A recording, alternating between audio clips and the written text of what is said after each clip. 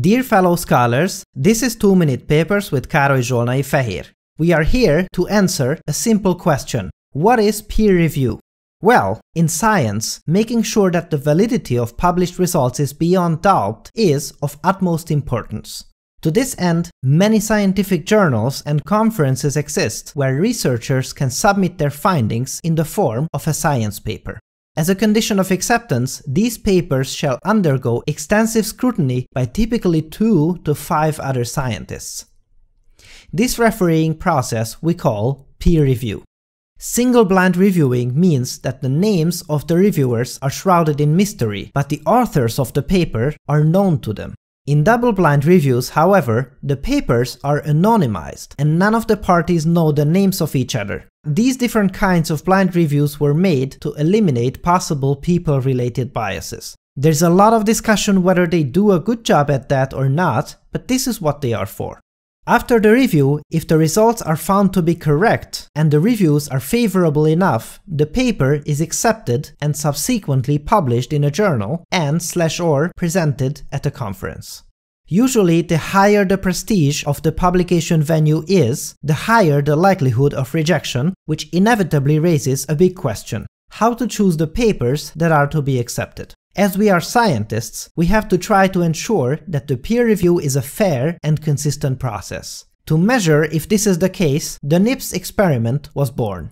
NIPS is one of the highest quality conferences in machine learning with a remarkably low acceptance ratio, which typically hovers below 25%. This is indeed remarkably low considering the fact that many of the best research groups in the world submit their finest works here. So here's the astute idea behind the NIPS experiment. A large amount of papers would be secretly disseminated to multiple committees, they would review it without knowing about each other, and we would have a look whether they would accept or reject the same papers. Re-reviewing papers and see if the results are the same, if you will. At a given prescribed acceptance ratio, there was a disagreement for 57% of the papers. This means that one of the committees would accept the paper and the other wouldn't, and vice versa. Now, to put this number into perspective, the mathematical model of a random committee was put together. This means that the members of this committee have no idea what they are doing, and as a review, they basically toss up a coin and accept or reject the paper based on the result. The calculations conclude that this random committee would have this disagreement ratio of about 77%. This is hardly something to be proud of. The consistency of expert reviewers is significantly closer to a coin flip than to a hypothetical perfect review process. So, experts 57% disagreement, coin flip committee 77% disagreement. It is not as bad as the coin flip committee, so the question naturally arises, where are the differences?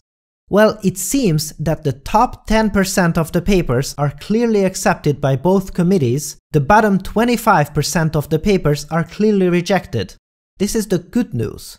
And the bad news is that anything in between might as well be decided with a coin toss. If the consistency of peer review is subject to maximization, we clearly have to do something different. Huge respect for the NIPS organizers for doing this laborious experiment, for the reviewers who did a ton of extra work, and kudos for the fact that the organizers were willing to release such uncomfortable results. This is very important and is the only way of improving our processes. Hopefully someday we shall have our revenge over the coin flip committee. Can we do something about this? What is a possible solution? Well, of course, this is a large and difficult problem for which I don't pretend to have any perfect solutions. But there is a really interesting idea by a renowned professor about crowdsourcing reviews that I found to be spectacular. I leave the blog post in the comment section both for this and the NIPS experiment, and we shall have an entire episode about this soon. Stay tuned. Thanks for watching and for your generous support, and I'll see you next time.